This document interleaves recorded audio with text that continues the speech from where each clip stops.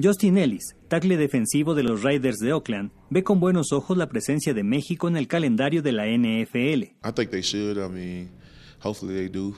And I mean, because the travel is not that bad, you know, because going to other countries like China or London is long travels for, for guys. En noviembre próximo, los malosos y tejanos de Houston protagonizarán en el Estadio Azteca un duelo histórico para la NFL, pues será el primer Monday Night que se celebrará fuera de suelo estadounidense.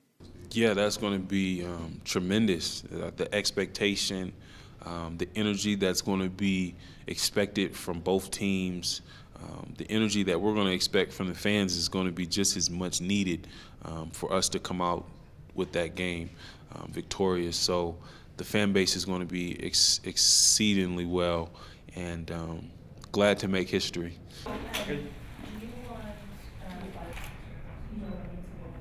I don't know. I think um, as far as the globalization that the NFL is being able to expand, uh, we've played games in London and now we're here in Mexico City, uh, potentially games in China as well. Con información de Daniela Payán e imágenes de José Luis Leone, Notimex.